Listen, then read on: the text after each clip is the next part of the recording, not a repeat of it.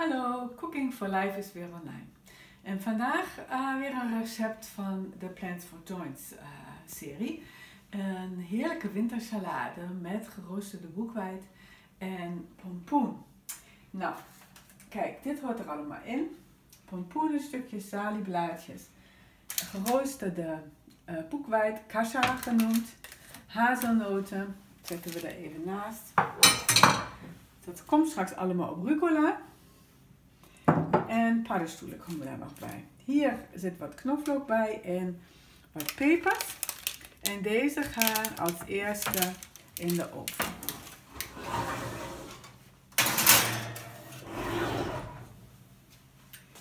Nou, ik wil even iets over de zalie vertellen. Het is een prachtig uh, kruid. En uh, wij hebben geluk. In het buurtgroen van uh, onze buren groeit die gewoon. En uh, mooi in een hoge bak. Dus uh, geen last van onaangename hondengeuren.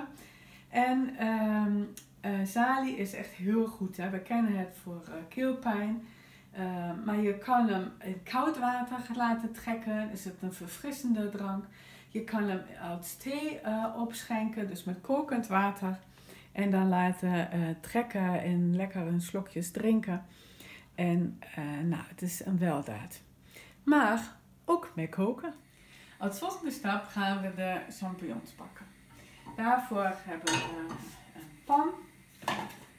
Antibak is deze al. Dus er hoeft niet per se olie in. Als je uh, ontstekingen hebt, is het ook goed om zo min mogelijk olie te gebruiken. Want een ontsteking is natuurlijk vuur. En olie is letterlijk olie op het vuur. Dus kan ontstekingen verergeren. Daarnaast is het zo, in de winter is olie vaak wel goed. Want het vertraagt wat het metabolisme. In de winter gebruik ik geroosterd sesamolie het liefst. Een heel klein beetje.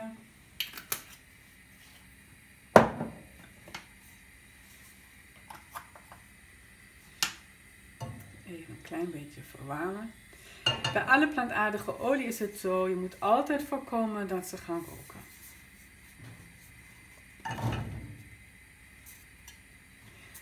En ik heb nou van die mooie uh, champignons heb ik um, ehm, 60 gemaakt. Dus door het midden en dan in drie stukken.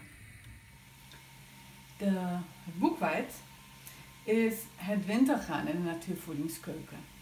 Het is heel krachtig en uh, geeft veel power. Daarnaast is het glutenvrij.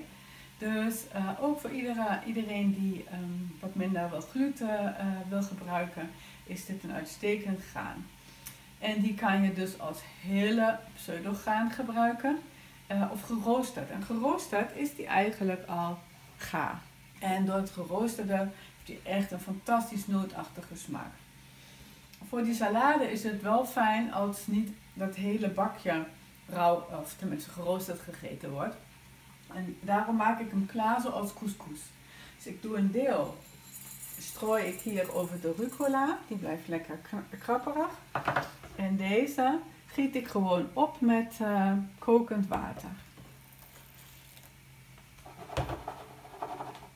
En dit laat ik gewoon even zo staan. Ga ik dat er zo overheen doen. Om dit, uh, deze, recept helemaal fantastisch te maken, komen er ook nog noten bij.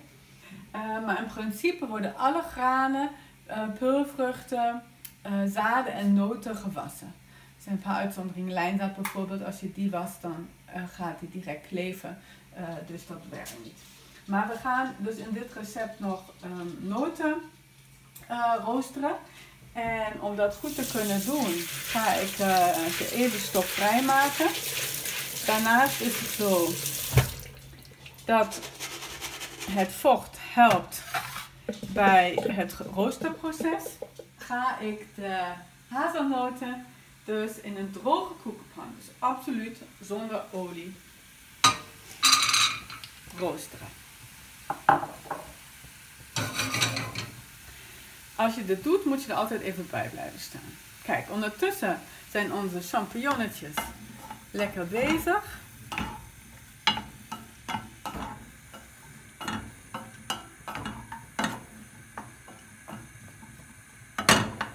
Kan nog even een klein beetje.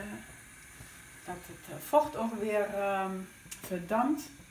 En dan roosteren we ze voorzichtig ehm, droog. En beetje goudgeel. Je ziet al hier het vocht wegtrekken, uh, verdampen.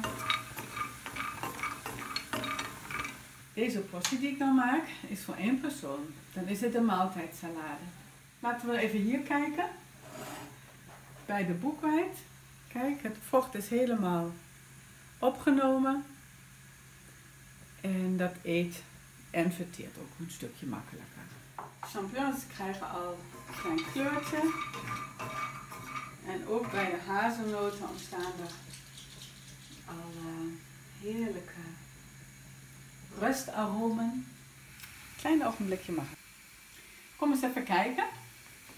Het vocht van de paddenstoelen is nu bijna weg. En dan zijn ze precies goed. Nog heel eventjes. En de noten zijn ze ook helemaal goed. Dus die gaan we hier even uitdoen. En even checken of de pompoen al goed is.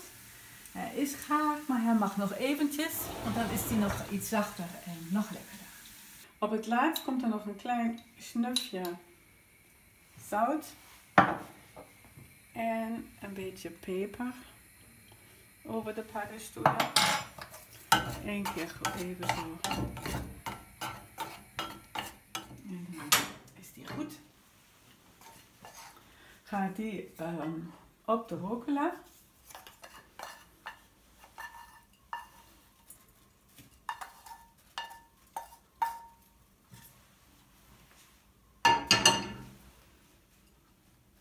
ziet er toch al verrukkelijk uit. Die kassa met, uh, die we even met kokend water overgoten hebben, kan daar overheen.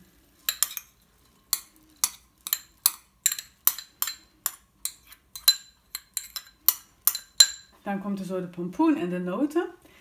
En ik ben gek op zuur. En ik zou daar uh, nog altijd iets van zuur bij doen. Maar dat is heel erg smaakafhankelijk. Dus kijk gewoon wat lekker voor je is. En mijn voorkeur gaat dan nu in de winter uit naar uh, umesu. Umesu is een eigenlijk restproduct van het pikkelproces van de umeboshi abrikoos. Uh, die onder druk met zout wordt weggezet. En die abrikoos is nog onrijp, dus die is hartstikke groen en daardoor heel zuur. En um, dat maakt dat dit een uh, zout en zuur product is. Maar uiteraard kan dat ook. Oké, okay, volgens mij zijn, is ook de pompoen. Kijk wat een kleurenpracht.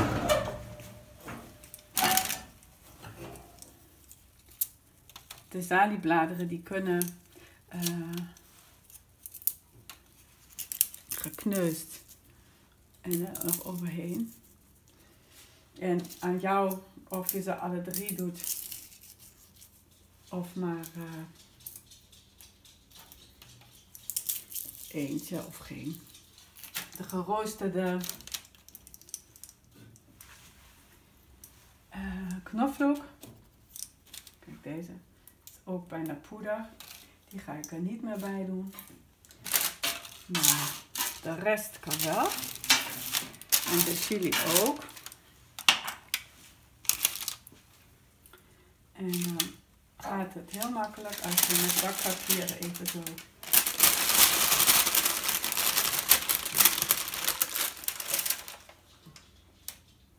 Kijk eens hoe mooi ziet het eruit. De nootjes eroverheen. En voor mij oemesoe. En dat is sterk spul. Dus je ziet, ik wil echt wel een paar druppeltjes. Oeps, dat was wel een beetje veel. Maar ik hou ervan. Tot zover de lauwarme boekwijdsalade. We gaan smullen. Eet smakelijk.